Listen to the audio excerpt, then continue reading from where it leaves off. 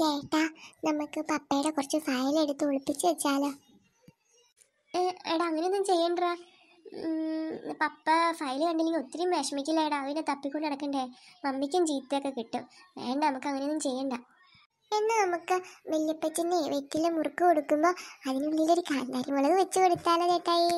അമ്പമ്പോ അങ്ങനെയൊന്നും ചെയ്യാൻ പാടില്ല. പ്രായമായവരെ ബഹുമാനിക്കണമെന്നല്ലേ അവർക്ക് ഉപദ്രവമൊന്നും ചെയ്യാൻ പാടില്ലടാ.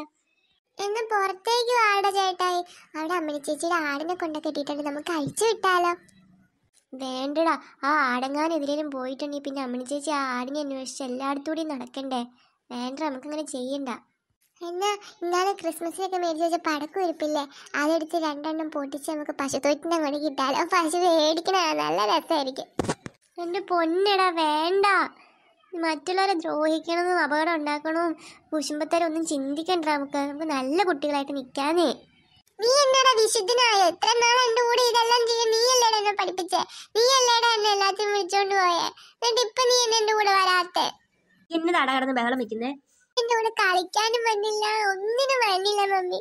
ഇപ്പൊ ഇവൻ പരമപുണ്യാലിട്ടിരിക്കും മമ്മി അല്ലേ ഇവനെ ധ്യാനത്തിന് വിട്ടു? എടാ നിക്കടാ ഞാൻ പറഞ്ഞൊന്ന് കേക്കടാ. കഴിഞ്ഞ പ്രാവശ്യം നിനക്ക് പനിയായോണ്ടാ നിന്നെ വിടാത്തെ. നിന്നെ ഇപ്രാവശ്യത്തെ ധ്യാനത്തിന് വിടുന്നുണ്ട്. നിന്നെ നല്ല വച്ചാക്കാൻ പറ്റുമോ നോക്കട്ടെ. അതെ നിങ്ങൾ രണ്ട് പറഞ്ഞുകൊണ്ടിരുന്നൊക്കെ ഞാൻ കേട്ടു. സാധാരണ ഇതിനെല്ലാം മുൻകൈ എടുക്കണ നീയാ. ഇപ്രാവശ്യം എന്നാടാ വച്ചത് നിനക്ക് പറ്റിയേ? അവൻ പറഞ്ഞതെല്ലാം വേണ്ടെന്ന് വെപ്പിച്ചല്ലോ നീയാ. അതെന്തല്ലോ മമ്മി. ഞാൻ ധ്യാനത്തിന് പോയപ്പോഴാണ് മമ്മി ഞാൻ എന്തോരം തെറ്റുകളാണ് ചെയ്തുകൊണ്ടിരുന്നതെന്ന് മനസ്സിലായേ. ഞാനങ്ങനെ ചെയ്യുമ്പോൾ ഈശോയ്ക്ക് വിഷമമാവുമെന്ന് എനിക്ക് അപ്പോഴാണ് മമ്മി മനസ്സിലായേ. മാത്രമല്ല അതെല്ലാം ഞാൻ എന്റെ അനിയനെയും പഠിപ്പിച്ചില്ലേ. അവിടെ പറഞ്ഞൊരു വചനം എന്റെ മനസ്സിൽ ഇങ്ങനെ സൂക്ഷിച്ചു വെച്ചിട്ടുണ്ട്. അതുള്ളിലുള്ളതുകൊണ്ടാണ് ഞാനിപ്പോൾ അവനെല്ലാം തിരുത്തിയത്. യാക്കോബ് അഞ്ച് ഇരുപത്. പാപിയെ തെറ്റായ മാർഗത്തിൽ നിന്ന് പിന്തിരിക്കുന്നവൻ തന്റെ ആത്മാവിനെ മരണത്തിൽ നിന്ന് രക്ഷിക്കുകയും തന്റെ നിരവധിയായ പാപങ്ങൾ തുടച്ചു മാറ്റുകയും ചെയ്യുന്നുവെന്ന് നിങ്ങൾ അറിഞ്ഞുകൊള്ളുവിൻ.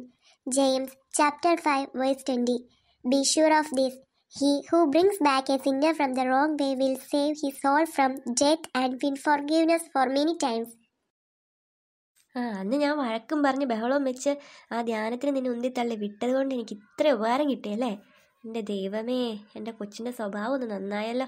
എല്ലാവരും എന്തൊക്കെ പറയുമായിരുന്നു? പിള്ളേർ ഇങ്ങനെയാണോ വളർത്തി വരണേ എനിക്ക് സൗകര്യം കിട്ടിയിട്ടുണ്ടോ? എന്നും എല്ലാവരുടെയും പരാതിയും വഴക്കുമായിരുന്നു. എന്റെ കൊച്ചിന്റെ സ്വഭാവത്തിൽ ഇത്രയും നല്ലൊരു മാറ്റം വന്നല്ലോ. ഇനി അവനെയും കൂടി വിടണം. അവനിപ്പം നിന്റെ അപ്പുറം അയക്കുക ആ അടുത്ത ധ്യാനം വരുന്നുണ്ടല്ലോ. അതിനെന്തായാലും ഞാൻ അവനെയും വിടും.